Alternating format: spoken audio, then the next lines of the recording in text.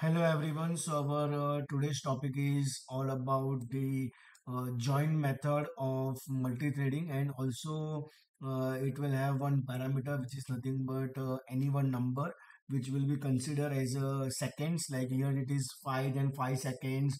If it is 50 then 50 seconds and etc okay. So from threading import everything that's uh, star. Then import time because here we have used time dot sleep Mm, that's why we are using that import time. Uh, then we have a one function display function in which we have a for loop and one print message. And after the printing that message, it will wait for two seconds actually. Uh, then uh, t is equal to uh, thread which is the object created and then target equal to display.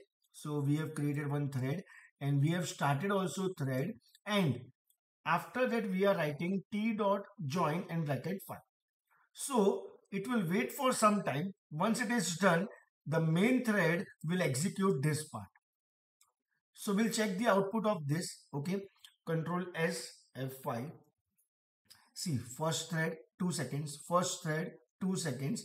And first thread. Now continuously we are getting second thread. See, very fast and very quickly because obviously it will wait for particular time only and then main thread will start execution so that is all about the join method in multi-threading. Thank you everyone.